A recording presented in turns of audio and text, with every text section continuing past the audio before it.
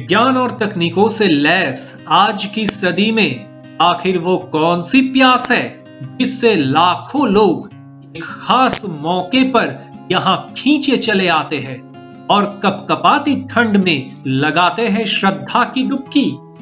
कौन सी शक्ति के बल पर खून जमा देने वाली ठंड में भी हज़ारों सन्यासी प्रयास ही नग्न रहते हैं? वो कौन सी पौराणिक घटना है जो कई साल बाद एक खास मौके पर फिर से घटती है। कुंभ मेला को लेकर ऐसे कई सारे कही अनकही बातों को आज आपसे शेयर करेंगे। भारतीय ज्योतिष शास्त्र के अनुसार कुंभ का योग कई प्रकार के होते हैं। जैसे महाकुंभ, जो 144 वर्षों में या बारह पूर्ण कुंभ के मेले के बाद आता है। पूर्ण कुंभ जो हर 12 साल बाद आयोजित किया जाता है। मध कुंभ जो हर छह साल बाद मनाया जाता है। इसके अलावा भी माघ कुंभ नाम की एक कुंभ और भी है। माघ कुंभ मेला हिंदुओं के लिए महत्वपूर्ण है, क्योंकि उनका मानना है कि माघ मेला की उत्पत्ति ब्रह्मांड के निर्माण के रूप में हुई थी।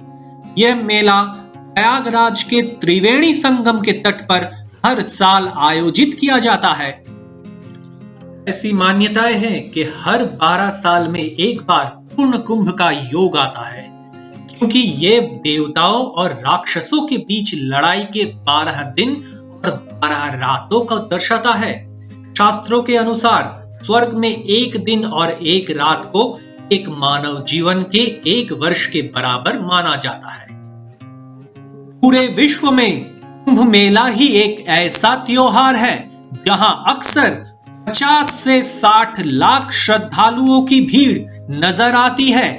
सिर्फ़ यही नहीं, ये हिंदू धर्म की, एकता की महान भावना का एक रूप भी है।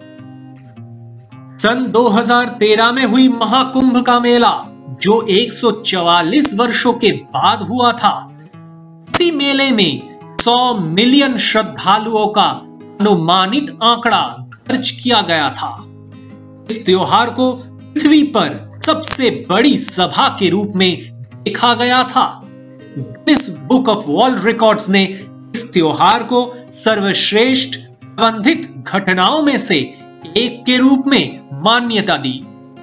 कुंभ मेला का ये त्योहार 2000 वर्ष से भी अधिक पुराना है। कुंभ मेला का पहला दस्तावेज़ विवरण चीन के यात्री यूएन सियांग द्वारा दर्ज किया गया था। जो सन छह से 645 ईस्वी में भारत आया था। कुंभ मेले में होने वाले व्यापारिक आय की मात्रा बारह हज़ार करोड़ रुपए से भी ज़्यादा है। इस त्योहार का प्रमुख रीति है नदी के तट पर धार्मिक स्नान करना। जैसे हरिद्वार में गंगा, नासिक में गोदावरी उज्जैन की शिप्रा और प्रयागराज में त्रिवेणी है।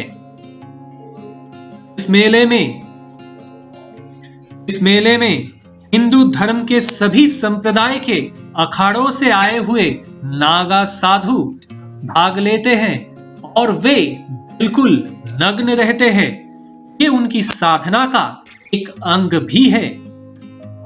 यूनेस्को ने कुंभ मेला को भारत की सांस्कृतिक विरासत के रूप में मान्यता भी दी है।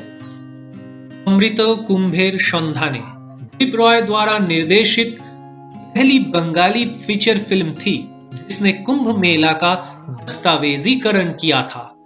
इसे सन उन्नीस में जारी किया गया।